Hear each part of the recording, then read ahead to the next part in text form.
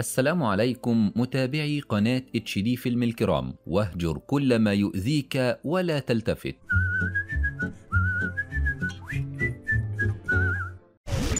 ما تنسوش الدعاء لإخواننا اللي تحت الحصار. ربنا يثبتهم وينصرهم ويرحم شهدائهم. نبدأ فيلمنا النهاردة مع ويلارد وهو واخد ابنه أرفين وداخلين الغابة اللي جنب بيتهم وبيفضلوا ماشيين لحد ما بيوصلوا عند صليب ويلارد كان عامله زمان وبيقعدوا قدامه يصلوا وفي اللحظة دي بنرجع بالزمن لوقت الحرب العالمية التانية أيام ما كان ويلارد جندي في الجيش الأمريكي وبنشوفه وهو ماشي مع زمايله في الجيش في أرض المعركة وهم ماشيين بيصادفوا واحد من زمايلهم مصلوب في وسط أرض المعركة ومسلوخ على إيدين الجنود اليابانيين وبيكونوا فاكرين إنه ميت لكن بيتضح لهم إنه لسه عايش. لكن علشان فرص نجاته شبه معدومة ويلارد بيطلع مسدسه وبيضربه في نص دماغه وبيخلص عليه علشان يريحه من الألم. وبعدها بفترة بنشوف ويلارد وهو راجع من الحرب وبيقف عند كافيه ولما بيدخل بيقابل مراته المستقبلية شارلوت وبتكون واحدة من اللي شغالين في الكافيه ده. وفي نفس الكافيه ده بيكون في واحد اسمه كارل وبيقع كارل في حب واحدة اسمها ساندي. وبتبقى زميلة شارلوت في الكافيه وبنعرف إن كارل مصور. وبعدها بنشوف ويلارد وهو راكب العربية مع عمه إريكسل وبيديله ويلارد مسدس ألماني كان لقاه في المعارك وأول ما بيرجع البيت بتحضنه أمه إيما بعد ما غاب عنها فترة كبيرة جدا. وبنعرف إنها كانت عاملة حسابها إنه لو رجع سليم من الحرب هتجوزه واحدة اسمها هيلين لكنها مش بتقوله. وتاني يوم بيروحوا الكنيسة وبتكون هيلين موجودة لكن إيما مش بتقول لهم حاجة برضه. وبيدخل عليهم واعظ اسمه روي وبنلاحظ إن هيلين معجبة بيه جدا. وبنعرف إنها هتبقى زوجته المستقبلية. وبيرمي روي على نفسه عناكب سامة كتير على أساس إن العناكب دي مش هتأذيه علشان هو مبارك. وبعدها بنشوف ويلارد وهو راجع مع أمه من الكنيسة وبتقول له أمه إنها عاوزة تجوزه هيلين لكنه بيكون رافض لأنه بيفكر في شارلوت. وبعدها بكام سنة فعلا بنلاقيه إنه اتجوز شارلوت وبنشوفهم وهم بيشتروا البيت بتاعهم وبنلاقي إنهم كمان خلفوا ابنهم أرفين. وبيقرر وقتها ويلارد إنه يدق صليب في الغابة اللي ورا بيته علشان البركة تحل على البيت. وبنروح في الوقت ده لبيت قيمه وبنلاقي هيلين عندها وبتطلب منها إنها تاخد بنتها لينورا علشان هي رايحة في رحلة مع جوزها روي وأخوه المشلول وفعلا بتوافق قيمة وبتروح هيلين تركب مع روي. وبنعرف في الوقت ده إن ده آخر يوم في حياة هيلين لأن جثتها هيلاقوها بعد سبع سنين مدفونة في الغابة وروي اختفى هو كمان. وبنروح بعد كده لسنة 1957 وبنشوف أرفن بعد ما كبر وبيلاقي ويلارد إن ابنه مضروب في وشه. وبيعرف إن اللي عمل فيه كده هم مجموعة من زمايله المتنمرين وبيقول له إنه لازم يكون أشجع من كده ويتصدى لهم. وبعدها بياخدوا بيروحوا على الغابة علشان يصلوا وهناك بيشوفهم اتنين صيادين وبيتريقوا عليهم لكن ويلارد مش بيرد عليهم لأن ده وقت صلاة مش وقت مشاكل. وبعد ما بيخلصوا بيرجعوا البيت وبياخد ويلارد أرفين وبيركبوا عربيتهم. وبيفضل ويلارد ماشي لحد ما بيلاقي الاتنين الصيادين قاعدين في استراحة وبينزل فوقهم هما الاتنين ضرب. وبعد ما بيخلص حقه منهم بيرجع يركب العربية تاني وبيقول لارفن إنك لازم تاخد حقك لكن في الوقت المناسب. وبالليل لما بيرجعوا للبيت بيتصدموا لما بيلاقوا شارلوت وقع على الأرض. ولما بيجي الدكتور بيقول لهم إنها عندها سرطان ومن اليوم ده بيواظب ويلارد على الصلاة هو وأرفين. علشان شارلوت تخف وبيروح كل يوم للغابة وأكتر من مرة في اليوم على أمل إن شارلوت تخف وبعد فترة تعب شارلوت بتسوق أكتر وأكتر. وبيقرر ويلارد إنه يقدم تضحية وبياخد الكلب بتاع أرفين وبيخلص عليه. وبيعلقه على الصليب اللي في الغابة على أمل إن مراته تخف وبيشوفوا أرفين في اليوم ده. وبيكون ده أسوأ يوم في حياة أرفين. لكن بالرغم من اللي عمله ويلارد ده كله شارلوت بتموت. وبعدها بفترة بيلاقي أرفين أبوه قاطع شرايينه في الغابة وميت وبكده بيتيتم أرفين في سن صغير جدا وعلشان كده بتنقله الحكومة علشان يعيش مع جدته قيمة وجده إريكسل وهناك بيقابل لينورا وبيبقوا إخوات بالتبني. وبنرجع بالزمن مرة تانية الأسبوعين قبل اليوم اللي هيلين جابت فيه لينورا لقيمة وبنلاقي إن روي بيعمل تجارب مجنونة على نفسه بحجة إنه عاوز يعمل معجزة يثبت بيها قوة إيمانه. وبنروح بعد كده لليوم اللي هيلين إدت فيه لينورا لقيمة وبنشوفها وهي ماشية مع روي وبيدخلوا للغابة وهناك بيطعنها روي فجأة في رقبتها وبتموت وبيعمل كده لأنه فاكر إن ربنا إداله موهبة إحياء الأموات. لكن طبعا هيلين مش بترجع وعلشان كده بيدفنها في الغابة وبيركب العربية مع أخوه. وبيفضل أخوه يوبخ فيه وبيقول له إنه على الأقل يرجع ياخد بنته. وفعلا بيقف في نص السكة وبيسيب أخوه المشلول في العربية وبيركب مع عربية تانية علشان يوصلوه في سكتهم. وبنلاقي إن العربية دي بتاعت كارلي وساندي اللي اتجوزوا هم كمان. وبينام روي في الطريق ولما بيصحى بيلاقي نفسه في الغابة بالقرب من البحيرة.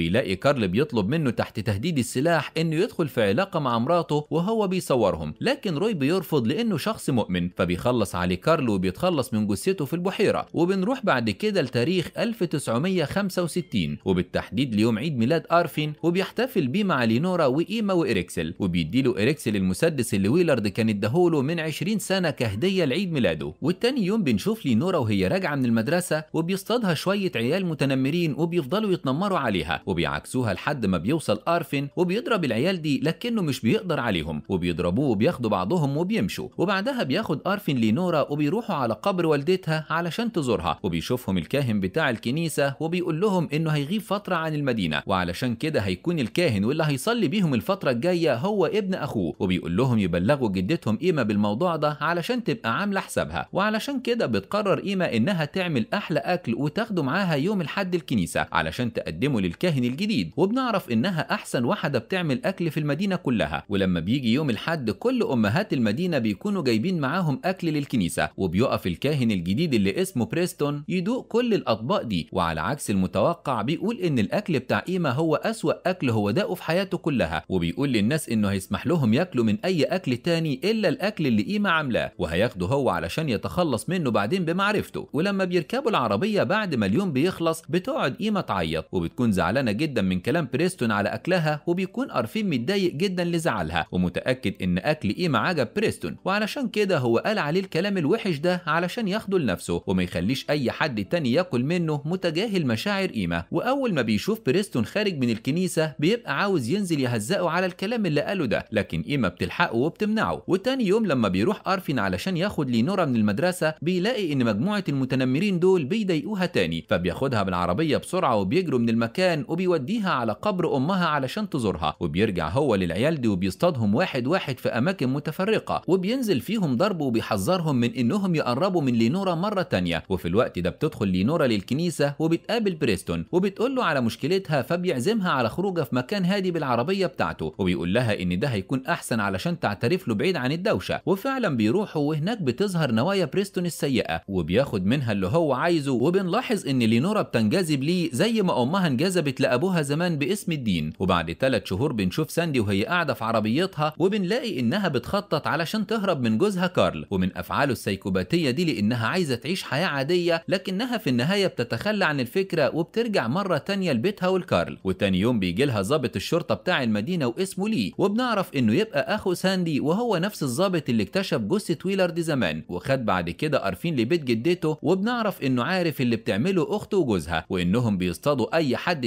تايه ويعملوا معاه زي ما عملوا مع روي وبيتستر عليهم ليه علشان صورته ما تهتزش لما يتعرف إن أخته بتعمل الكلام ده وبيقول لها ليه إنهم لازم يوقفوا أفعالهم دي الفترة اللي جاية لأنه هيترشح في انتخابات المدينة اللي هتتعمل قريب ومش عايز أفعالها تأثر على سمعته قصاد الناخبين. لكن ساندي مش بتسمع كلامه وبتكمل هي وجوزها كارل في أفعالهم وبيقابلهم في يوم من الأيام جندي في الجيش وبيعملوا معاه زي ما بيعملوا مع باقي ضحاياهم لكن وهم راجعين البيت بتقول ساندي لكارل إنها خلاص زهقت من اللي هم بيعملوه ده لكن كارل مش بيهتم وعلشان كده بتبلغ المركز العسكري بعد كده بالحادثة. وبنرجع مرة تانية لينورا اللي بتقوم من النوم تعبانة وبتفضل ترجع وبتعرف ساعتها إنها حامل من بريستون لكنها مش بتقول لأي حد في البيت. وبتروح تقابل بريستون وبتقول له على اللي حصل لكنه بينكر إن اللي في بطنها ده يبقى ابنه. فبتصاب لينورا بالاكتئاب وعلشان هي بنت مؤمنة بتخاف لحسن حد يعرف اللي هي عملته. وتجيب العار لإيما وإريكسل وعلشان كده بتقرر إنها تخلص على نفسها. وبتربط حبل في سقف الحظيرة وبتجيب جردل وبتقف عليه علشان تشنق نفسها لكنها في آخر لحظة بتتراجع عن قرارها لأنها بتلاقي إن ايما هتزعل أكتر لو هي ماتت وبتحاول تفك الحبل من حوالين رقبتها لكنها بتتزحلق بالغلط من على الجردل وبتموت وبعد شوية بيوصل أرفين وبيتصدم أول ما بيشوفها وبيشيلها لكنها بتكون خلاص ماتت وفي الجنازة محدش بيروح لأن بريستون بيقول إن اللي بيموت نفسه ما يستحقش الرحمة وبعد ما بيدفنوها بيبلغ ضابط الشرطة أرفين إن تحليل الطب الشرعي كان بيقول إن لينورا حامل. وأول ما بيسمع أرفين الكلام ده بيشك إن بريستون هو اللي عمل فيها كده لأنها في الفترة الأخيرة كانت بتقرب منه جدا وبيقرر بعدها إنه ينتقم منه وبيفضل متابعه علشان يلاقي الفرصة المثالية. وفي يوم بيشوفه وهو بيقابل بنت تانية من نفس سن لينورا وبيعمل معاها زي ما عمل مع لينورا وفي نفس المكان. وساعتها بيتأكد من شكوكه وبيقرر إنه يخلص عليه. وبالليل بيروح البيت وبيودع إيما وإريكسل من غير ما يقول لهم على حاجة وده لأنه عارف إنه مش هينفع يرجع البيت مرة مرة تانية بعد ما يخلص عليه وتاني يوم بياخد أرفين المسدس اللي إريكسل كان اداهوله وبيروح على الكنيسة على أساس إنه عاوز يعترف بخطاياه لبريستون. وبعد ما بيقعد معاه شوية بيقوم فجأة وبيرفع مسدسه عليه وبيواجهه باللي عمله مع لينورا لكن بريستون بيرفض إنه يعترف وبيحاول يهرب منه لكن أرفين بيكون متعصب جدا وبيضربه بالنار وبيخلص عليه وبياخد بعضه وبيهرب من الكنيسة وبيروح يركب عربيته وبيقرر يرجع لبيت طفولته. ولكن من سوء حظه العربية بتتعطل منه في السكة وعلشان كده بيقف في السكة وبيستنى أي عربية تاخده معاها لحد ما بيلاقي عربية فعلا ولكن لسوء حظه مرة كمان العربية دي تبقى بتاعت كارل وساندي وبيركب معاهم فعلا وبيروحوا على مكانهم المعتاد وأول ما بيوصلوا بينزل كارل من العربية وبيلاحظ أرفين مسدس في جيبه وبيحس أرفين من تصرفات كارل إنه شخص مش تمام وبيشوفه هو ماسك مسدس ورايح ناحيته فبيضربه بالنار بسرعة فبتطلع ساندي مسدسها وهي خايفة فبيضربها أرفين هي كمان بالنار ولما بيفتح الدرج بتاع العربية بيلاقي فيه مجموعة من الصور ليهم مع ضحاياهم فبياخدها معاه كدليل علشان لو اتقبض عليه يقول إنه قتلهم دفاعا عن نفسه وبعدها بتلاقي الشرطة جثتهم وبيتصدم ليه لما بيعرف إن الجثة المرة دي هي جثة أخته وجوزها وبيحزن جدا عليها لكن أكتر حاجة بتكون شاغلة تفكيره هو إن أفعالهم لازم تدفن معاهم علشان مكانته واسمه ما يتهزوش. وعلشان كده وبعد كام يوم بيروح على بيت ساندي وبيحرق كل الصور والأفلام اللي ساندي وكارل كانوا مصورينها وبنشوف بعد كده أرفين بعد ما وصل لبيت أبوه وبيقابل واحد جارهم وبيفتكروا أرفين لأنه كان ساعده زمان لما أبوه مات. وعلى الناحية التانية بنلاقي إن ليه اكتشف إن اللي قتل أخته هو نفسه اللي قتل بريستون وبيعرف إنه أرفين لأنه بيلاقي عربيته راكنة على الطريق وبيلاقي كمان إنه استخدم نفس المسدس في جريمتين. ولما بيدور وراه بيعرف إنه هو الطفل اللي ساعده زمان علشان يوصله لجده. وبنرجع مرة تانية لأرفين اللي بيكون واقف قصاد الصليب اللي أبوه كان عامله وبيكون عليه بقايا جثة الكلب بتاعه وبيفهم ساعتها أبوه عمل كده ليه في الكلب وبيسامحه على اللي عمله وهو قاعد كده بيسمع صوت حد جاي من وراه فبيلتفت وبيلاقي إنه ليه فبيهرب منه وبيجري وراه ليه وهو ماسك بندقية لحد ما بيقفشه ليه وبيقع أرفن على الأرض وبيكون معاه مسدس وبيحاول يشرح لليه أسباب قتله لأخته وجوزها وقتله لبريستون وبيقول له إنهم كانوا أشخاص سيئين وكانوا يستحقوا الموت وفي اللحظة دي بيضرب ليه عليه نار لكن الطلقة بتيجي في شجرة قدام أرفين وبيضربه أرفين بالنار وبيخلص عليه وبعدها بيحط الصور اللي لقاها مع ساندي في جيب ليه علشان لو حد لقى الجثة يعرفوا اللي كانت بتعمله أخته ويعرفوا ساعتها إنه شرطي فاسد. وبيطلع بعدها أرفين على الطريق علشان يسافر لمكان تاني بعيد. وبيوقف عربية على الطريق وبيركب مع صحابها. وبيحس أرفين إنه عاوز ينام لكنه بيمسك نفسه. وفي الوقت ده بيتخيل كل السيناريوهات اللي ممكن تحصل بعد كده. ما بين إنه يبني عيلة ويبقى أب زي أبوه أو إنه يشارك في حرب فيتنام زي باقي شباب جيله أو إنه يرجع مرة تانية لإيما وإريكسل. وبعد تفكير عميق إنهم بيغلبوا بينام في العربية.